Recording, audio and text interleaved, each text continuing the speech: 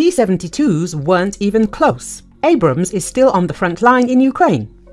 American Abrams tanks are still on the front lines in Ukraine, but tank battles in which they excel have been rare, Business Insider writes, citing a soldier from the 47th Separate Mechanized Brigade. It all depends on the situation. You see, we don't fight so that it's purely tank against tank, he said. According to the fighter, the T 72 didn't even stand next to the Abrams. He added that the situation on the battlefield has become very difficult due to Russia's advantage in manpower and equipment. That's why we have to adjust our actions. These tanks are designed primarily for direct contact. Go out and destroy enemy equipment, the military man said.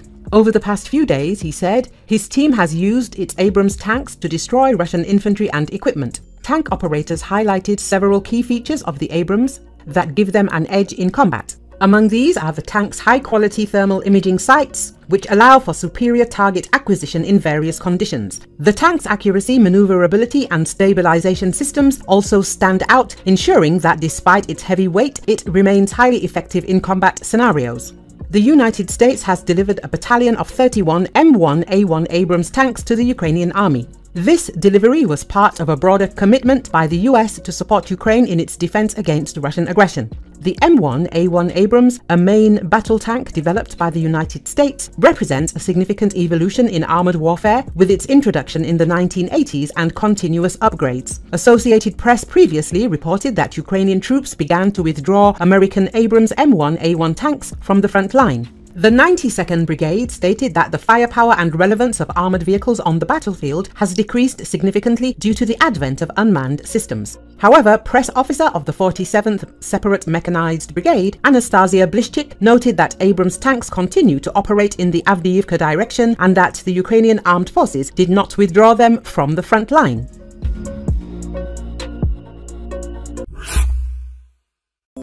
US has to be ready to send troops to Ukraine House Democratic leader Hakeem Jeffries.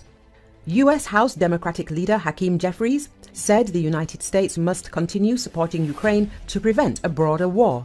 We can't let Ukraine fall because if it does, then there's a significant likelihood that America will have to get into the conflict, not simply with our money, but with our service women and our servicemen. Jeffries said in an interview with CBS. Jeffries explained that he believes Russian President Vladimir Putin seeks to recreate the Soviet Union and in doing so will threaten NATO allies. Putin's invasion of neighboring Georgia did not stop there. Jeffries pointed out, nor did his takeover of Crimea in eastern Ukraine. Are we to believe that in the face of this kind of consistent aggression, if we allow Vladimir Putin to succeed in Ukraine, he's only going to stop in Ukraine? Of course not, Jeffries said. There is a growing pro Putin faction in the Republican Party that does not want to support Ukraine and believes, for some reason, that Russia is not an enemy of the United States of America. Jeffries said. In his interview, Jeffries spoke about Ukrainian military's ability to hold off Russian forces for more than two years. This has been a strategic success by any definition, Jeffries said. And so those that want to convince the American people that the Ukrainian effort has been a failure are promoting Vladimir Putin's propaganda because the facts say the exact opposite, which is why it's important for us to finish the job. It's a Churchill or Chamberlain moment. Last month, Congress approved a long-awaited bill to provide $61 billion in military and humanitarian aid for Ukraine. The first major aid package since December 2022, it came after months of fighting and deadlock in Congress, driven by Republicans who are divided over foreign aid to Ukraine. Oil and gas sector of Russia faces staffing issues due to mobilization. The Russian oil and gas industry is facing a shortage of labor due to the mobilization of soldiers for the war against Ukraine, reports Bloomberg. Recent reports from the Central Bank of Russia indicate that the labor shortage is currently affecting enterprises in all sectors of the economy. According to the material, the oil and gas sector of Russia lacks about 40,000 employees this year. The industry increased the number of online job postings in the first quarter by 24% compared to the previous year, seeking not only skilled personnel but also low skilled workers.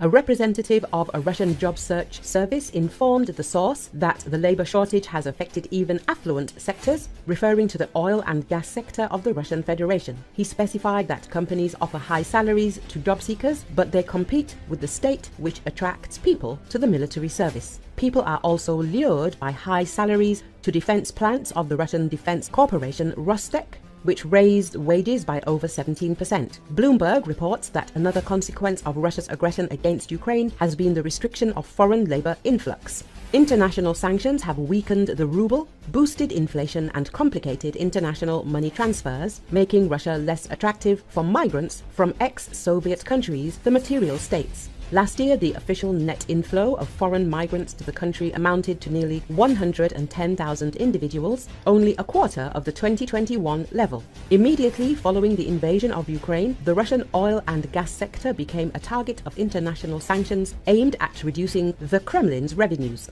However, the industry continues to operate, providing Russia with funds necessary to send soldiers to the front lines and purchase weaponry for shelling Ukrainian cities. The labour shortages raise questions about whether Russia's oil and gas industry can sustain this performance in the longer term, Bloomberg added. The Kremlin is constantly exploring new opportunities to recruit individuals to send to war against Ukraine.